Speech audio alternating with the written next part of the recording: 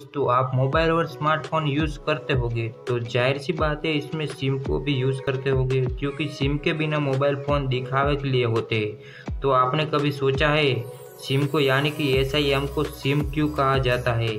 इसका पूरा नाम क्या है? नहीं पता तो आइए मैं बताता हूँ। तो गाइस सिम का पूरा नाम है सब्सक्राइबर आइडेंटिटी मॉड्यूल इसे हिंदी में बोले तो ग्राहक पहचान मॉड्यूल फैक्ट नंबर टू एक एटीएम मशीन में कुल कितने पैसे होते हैं? नहीं पता तो आइए मैं बताता हूँ। एक एटीएम में ज़्यादा से ज़्यादा सत्तर लाख रख सकते हैं, लेकिन इतने पैसे रखे नहीं जाते एक एटीएम में पिस्तालीस से पचास लाख तक रखे जाते हैं, और पैसे रखना ये स्थल पर निर्धारित होता है, क्योंकि गाँव में कम लोग एटीएम यूज़ करते हैं, और शहर में एटीएम ज़्यादा यूज़ होते हैं, इसलिए शहर में एटीएम मशीनों में ज़्यादा पैसे होते हैं, और गाँव के एटीएम मशीनों में कम पैसे रखे जाते हैं। ये दोनों फैक्ट आपको कैसे लगे? ऐसे ही न्यू फैक्ट देखने के लिए हमारे चैनल को सब्सक्राइब कर दो और बाजू में दिए गए बेल आइकन को प्रेस कर दो।